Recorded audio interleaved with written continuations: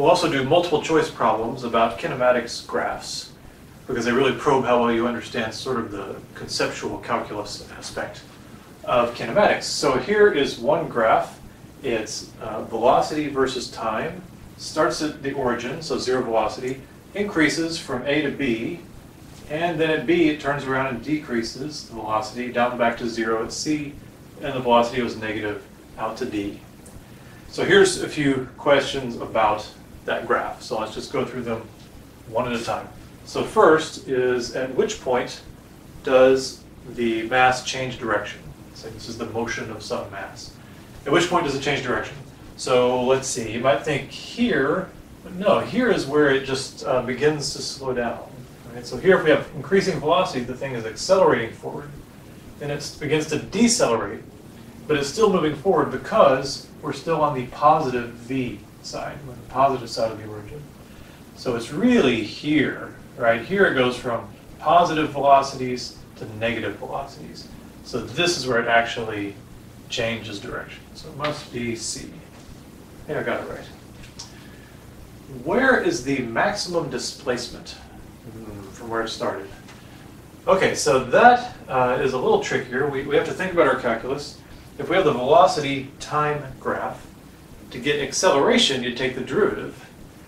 But to go up to position, remember it's the area under the curve. Right? So the area under the curve is uh, equivalent to the difference in position, or the displacement. So we gotta say, if we follow this to increasing time, where is the area under the curve maximum? Okay, so like if we only went to here, then there's the area under the curve. If we went all the way to B, there's the area under the curve.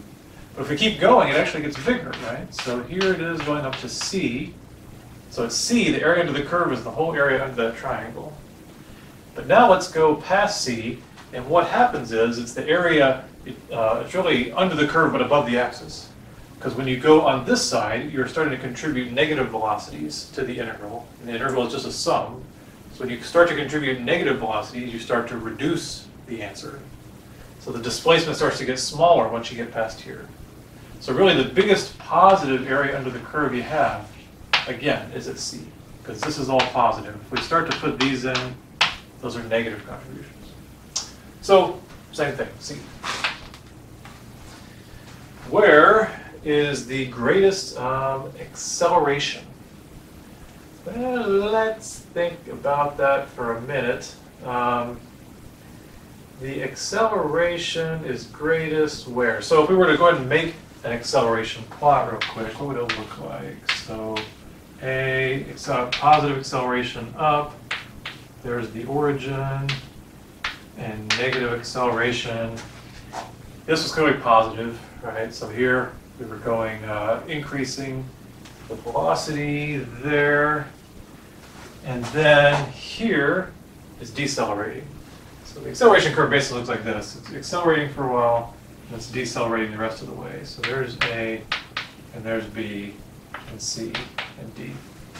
Even though the velocity is positive and negative, it's decelerating the whole way because it's the slope tells you the acceleration.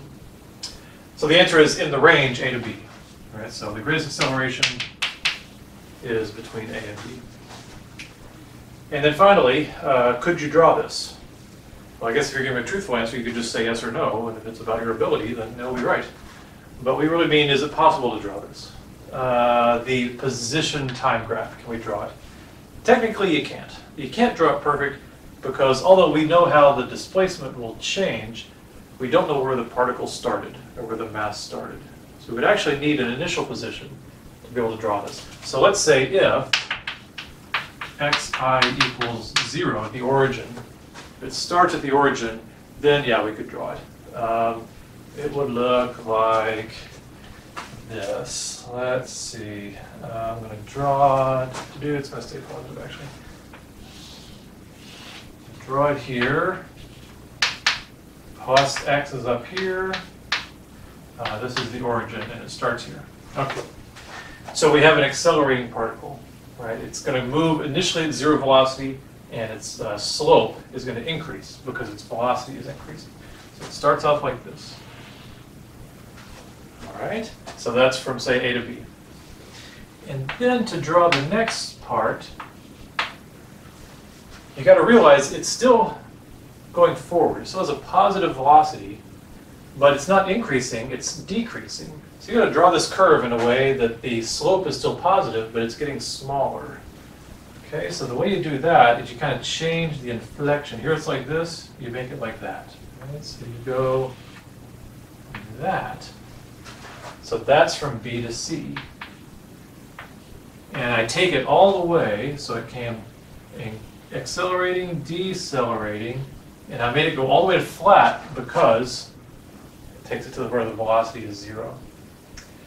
And then moving forward, uh, we have the case that now the slope becomes negative and it becomes increasingly negative. So then it kind of looks like the other side of the parabola there, like that.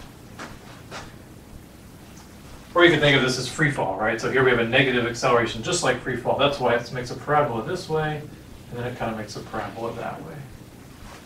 So it's something like that.